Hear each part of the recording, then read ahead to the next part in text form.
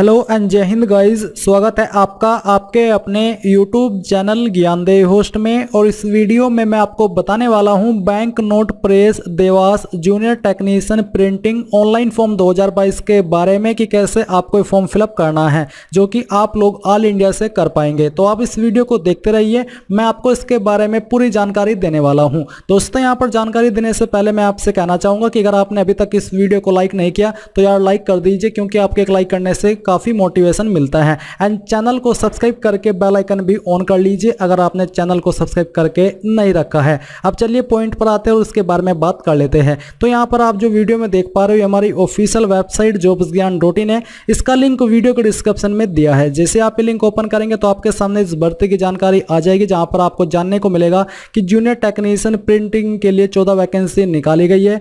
MP में आपकी posting होगी कैंडिडेट इसमें ऑल इंडिया से अप्लाई कर सकते हैं। आप लोग इस फॉर्म को 14 नवंबर 2022 तक भर पाएँगे।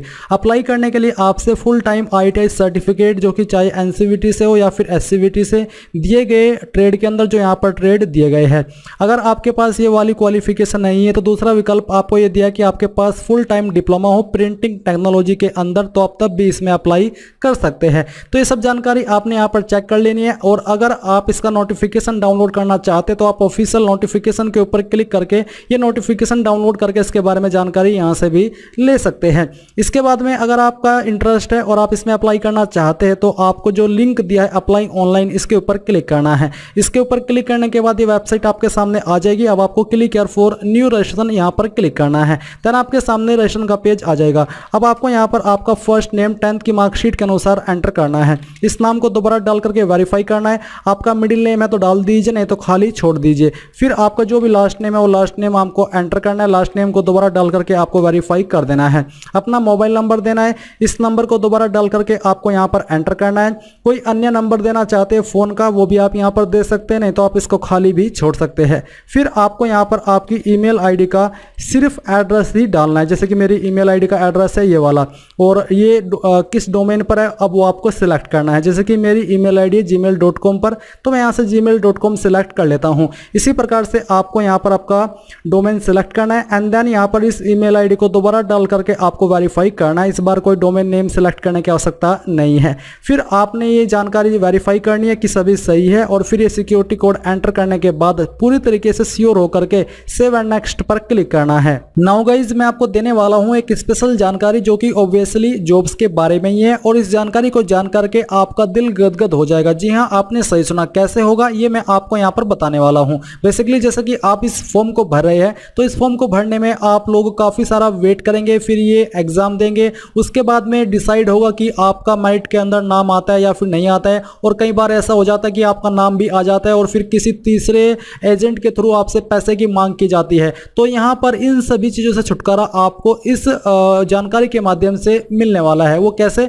जैसे कि यहाँ पर रिलेवल बाई अन अकेडमी है। ये एक जॉब हायरिंग कंपनी है। यानी कि इसके माध्यम से बड़ी बड़ी कंपनीज़ आप लोगों को हायर करती है। इसी में जैसे कि अगर मैं बात करूँ पेटीएम के बारे में तो पेटीएम का नाम तो आप सब लोगों ने सुना है, आप सब लोग जानते हैं कि कितनी बड़ी कंपनी है। इसकी आप यहाँ पर फंडिंग देख सकते हैं कि टोटल फंडिंग कितनी है, कितने लोग इसमें काम करते हैं। तो बेसिकली अगर आप चाहते कि मैं पेटीएम के अंदर जॉब करूँ, वो भी किसी बिना स्किल के, बिना किसी रजिस्ट्रेशन फ़ीस के तो वो कैसे पॉसिबल है? वो यहाँ पर हंड्रेड पॉसिबल है रिलेबल बाई एन अकेडमी के माध्यम से। तो यहाँ पर दोस्तों मैंने आपको लिंक दिया है रजिस्टर का वीडियो के डिस्क्रिप्शन में। अगर आप इस लिंक को ओपन करेंगे, आपके सामने यहाँ पर कुछ ऐसा इंटरफेस आ जाएगा। आपको क्या करना होगा, आपको सिंपली एक टेस्ट देना है। वो टेस्ट आप फ्री में दे पाएँगे और आप चाहे जितनी बार चाहे उसको दे सकते हैं। अगर आपका रिलेवल स्कोर, जिसको आपका एक रिज़ल्ट लगता है, उसको रिलेवल यहाँ पर स्कोर बोला जाता है, उसमें अच्छा स्कोर आता है तो फिर आपको पेटीएम खुद अप्रोच करेगा। आपका एक छोटा सा इंटरव्यू होगा, जो चाहे आप जैसा चाहे देना देना चाहे दे सकते हैं। उसके बाद में आपको डायरेक्टली जॉब मिल जाएगी, जिसकी शुरुआती सैलरी ही आपकी फोर लाख पर एनम यानी कि सालाना आपको चार लाख रुपए मिलेंगे। ये आपकी शुरुआती है, उसके बाद में ये बढ़ भी जाएगी। तो कैसे आप इसमें अप्लाई कर सकते हैं? आप सिंपली रजिस्टर फॉर टेस्ट इसके ऊपर क्लिक करेंगे। फिर यहाँ पर आप बुक योर फ्री स्लॉट इसके ऊपर क्लिक करके यहाँ पर अकाउंट बना करके इसमें टेस्ट को दे देंगे। टेस्ट आप मोबाइल से दे देंगे, घर बैठे कहीं आपको जाने की आवश्यकता नहीं है और इनके कोर्सेज भी है यानी कि आप उस कोर्सेज के माध्यम से अपनी प्रिपरेशन कर सकते हैं और प्रिपरेशन करके आप टेस्ट को दे सकते हैं, जिससे कि आपका फ़र्स्ट टाइम के अंदर ही सिलेक्शन हो जाए। अगर फ़र्स्ट टाइम में नहीं भी होता तो फिर आप इसमें सेकेंड टाइम थर्ड टाइम यानी कि जितनी बार चाहे टेस्ट को दे सकते हैं। तो एक बहुत ही अच्छा प्लेटफॉर्म है, बिना किसी मीडिएटर के, यानी कि एजेंट के आप लोग जॉब पा सकते हैं। तो इसको एक बार ट्राई ज़रूर कीजिएगा। अगर आप सच में जॉब को ढूंढ रहे हैं या फिर किसी भी तरह की जॉब पाना चाहते हैं लिंक मैंने आपको वीडियो के डिस्क्रिप्शन में दिए है, कोई सवाल डाउट हो तो पूछ लीजिएगा। अब आपका रजिस्ट्रेशन हो चुका है और आपको रजिस्ट्रेशन नंबर एंड पासवर्ड की जानकारी यहाँ पर दी गई है। सेम जानकारी आपको ईमेल और मैसेज के माध्यम से सेंड कर दी गई है। इस सेक्शन के अंदर आपको आपका फ़ोटो एंड साइन अपलोड करना है। आपको यहाँ पर चूज़ फ़ाइल के ऊपर क्लिक करना है और जहाँ पर भी आपका फ़ोटो है, वो आपको अपलोड करना है। मैं आपको बता दूँ कि आपके फ़ोटो का साइज़ 20 से 50 के के बीच में रहना चाहिए, तभी वो अपलोड हो पाएगा। तो जो भी फ़ोटो आपने इसके अंदर तैयार किया है, वो आप सिलेक्ट करेंगे फ़ोटो आपका यहाँ पर आ जाएगा। फिर आपको I confirm that this is my valid photo यहाँ पर क्लिक करना है। देन आप चूज़ फ़ाइल के ऊपर क्लिक करके जो आपका सिग्नेचर है, वो भी अपलोड करेंगे। सिग्नेचर का साइज़ आपका बीस दस से बीस के के बीच में रहना चाहिए। तो आप यहाँ पर इसको ओपन कर लीजिए। ओपन करने के बाद आप यहाँ पर टिक करेंगे। देन यहाँ पर आपको नेक्स्ट पर क्लिक करना है। नेक्स्ट के ऊपर क्लिक करने के बाद आपके सामने कुछ ऐसा इंटरफेस आ जाएगा। अब आपको यहाँ पर कैटेगरी सेलेक्ट कर लेनी है, जो भी आपकी कास्ट कैटेगरी है। एंड देन यहाँ पर दोस्तों, क्या आप विकलांग अगर है तो आपकी विकलांगता फोर्टी से ज़्यादा है तो आपको यस करना है, नहीं तो नो कर दीजिए। देन यहाँ पर कुछ सवाल दिए, जो कि उन्हीं के लिए लागू हो जो कि विकलांग है। जो सभी को आंसर करने हैं, वो है आपका, कि आपका क्या रिलीजन है। तो जो भी आपका रिलीजन है, वो आपको सिलेक्ट कर लेना है। फिर आपसे पूछे कि क्या आप रिलीजियस माइनॉरिटी कम्युनिटी से बिलोंग करते हैं। अगर हाँ तो यस नहीं तो आपको नो करना है। और ये आप ही को पता होगा कि आपकी कास्ट रिलीजियस माइनॉरिटी में आती है या फिर नहीं आती है। क्या आप एक्स सर्विसमैन है? अगर हाँ तो यस नहीं तो आपको नो करना है। फिर आपको नेशनलिटी में इंडियन ही रखना है। और state to which centre of examination belong आप कौन सी स्टेट में अपना एग्ज़ाम सेंटर रखना चाहते हैं? इन्हीं स्टेट में एग्ज़ाम सेंटर रहने वाले इस भर्ती के, वो आपको सिलेक्ट कर लेना है।